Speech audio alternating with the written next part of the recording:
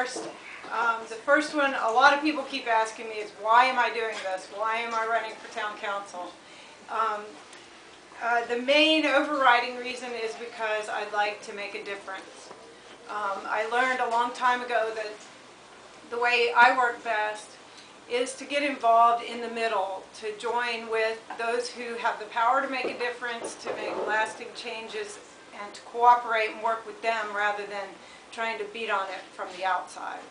So, um, also, the other reason is timing. Um, people have asked me over the years to run, and it was never quite the right timing for me or my family. And now I feel like it is. And I feel like it's the right timing for the town because we have four open seats with only one incumbent running. That's three wide open seats. So it's nice for me to know that I'm not trying to unseat someone who's been working hard for the town. It's, there's a wide open seat that I can run for. and It just, it just feels nice to me that way. Um, the second question is, who am I? I am not a politician. I've heard, I've been accused of that a couple times lately, and I just kind of laughed about it. But um, I'm a full-time mother.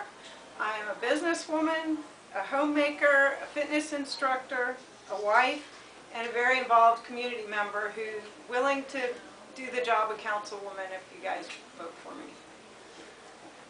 My husband is here, Billy Newcomb. He is an environmental consultant. He's also serving as president of New River United Soccer Association, and he has volunteered for that organization since um, Adrian and Callum were very little, for a long time. Um, We have two teenagers, Adrian here, and Callum's in the back corner back there. They're both um, students at Blacksburg High School and athletes also. Um, Billy and I both went to Blacksburg High School, and I'm still tenuously holding on to the, the record for the 3,200 meter run.